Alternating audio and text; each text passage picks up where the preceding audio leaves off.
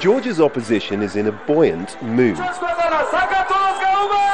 Led by this enigmatic billionaire, Bidzina Ivanishvili, and armed with money and influence, the Georgian Dream Coalition's popularity is giving President Saakashvili nightmares. Things started looking bad for the government after this. Leaked by the opposition, two channels aired distressing videos showing prison brutality, including rape. Saakashvili fired ministers and arrested guards, but the damage was done.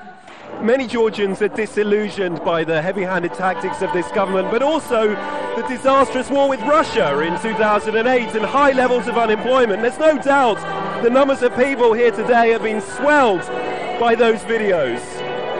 Tanya says she's voting for Georgian Dream because her family is really struggling. They wanted democracy, and look, now we have got democracy, but 10% of people live okay. The rest live in poverty. If one person works in their family, they are lucky. Not everyone is so lucky. But under Saakashvili, a new generation is growing up free from petty corruption and organized crime. Dance teacher Georgi says Georgian society has changed in positive ways. Saakashvili has done a lot of good things for us. There's no more theft, the whole country has electricity, there are amusement parks, schools have been renovated.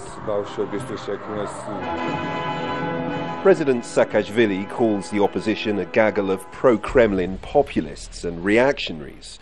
Voters may back his United National Movement party, fearful about a return to the past. This election looks like a genuine contest, but with emotions running high and both sides calling each other criminals, there's a danger the battle won't end at the ballot box. Robin Forestier Walker, Al Jazeera, Tbilisi.